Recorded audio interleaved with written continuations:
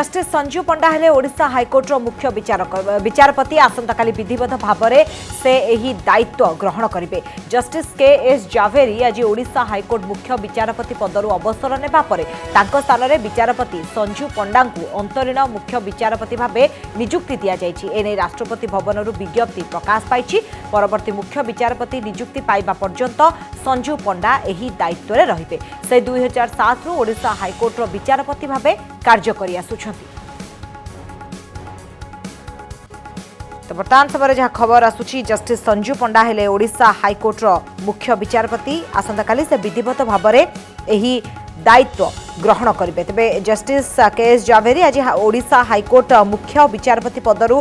ଅବସର ନେବା ପରେ ତାଙ୍କ ସ୍ଥାନରେ ବିଚାରପତି ସଞ୍ଜୁ ପଣ୍ଡାଙ୍କୁ ଅନ୍ତରୀଣ ମୁଖ୍ୟ ବିଚାରପତି ଭାବେ ନିଯୁକ୍ତି ଦିଆଯାଇଛି